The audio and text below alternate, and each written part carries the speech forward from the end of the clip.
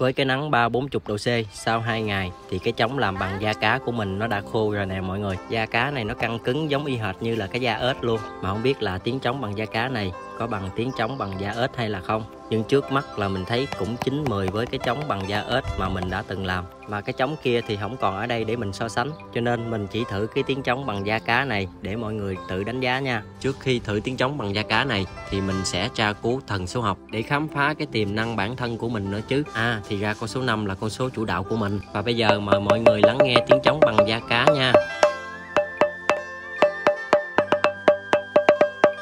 Đang thử cái trống thì có fan mình tới nhà, muốn trải nghiệm thực tế nè mọi người. Chú chính